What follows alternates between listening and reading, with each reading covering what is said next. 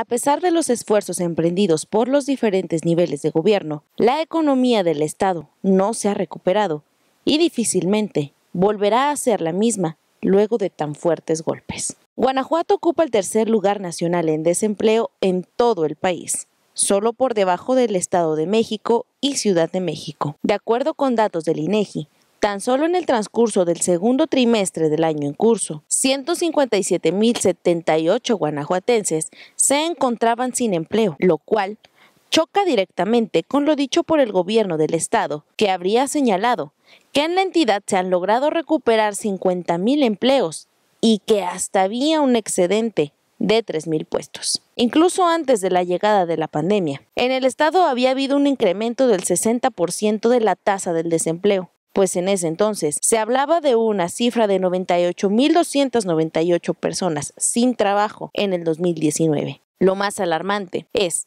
que en el estado la mayor tasa de desempleo la ocupan los universitarios recién egresados, con un 38.66% de la población, escalando entre las edades de 20 y 29 años de edad. Actualmente, el estado de Guanajuato ocupa la sexta tasa de desocupación de todo el país. Para el sistema de noticias de TV Libertad con imágenes de Mariana Zárate, informó Noreima Castillo.